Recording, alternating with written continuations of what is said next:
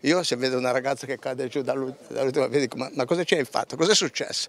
E invece ne hanno detto tre o quattro, una diversa dall'altra. La prima è che si è sentita male, è andato giù e ha vomitato e poi, e poi ha dato una testata contro la porta e poi, poi, poi insomma sono cose che oramai ne sa mezza Italia. Ecco, io dico la verità, sono anche stanco di... È stanco il papà di Martina Rossi, la giovane che nel 2011 è volata giù dal terrazzo del sesto piano di un grande hotel a Palma di Mallorca.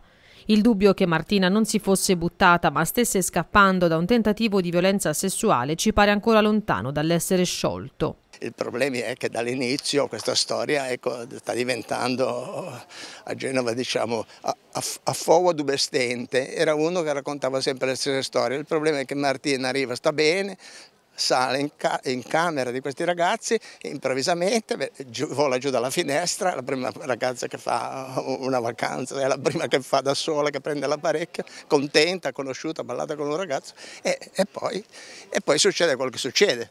L'udienza preliminare ripresa questa mattina presso il Tribunale di Arezzo. Il GUP Pier Giorgio Ponticelli ha accolto la richiesta della difesa dei due ragazzi Alessandro Albertoni e Luca Vanneschi di Castiglion Fibocchi coinvolti nel caso. Secondo la pubblica accusa sostenuta dal PM Roberto Rossi, Martina scappava proprio da loro. Le intercettazioni di un'amica di Martina Rossi, che era in vacanza con lei, saranno adesso trascritte e andranno ad integrare la perizia.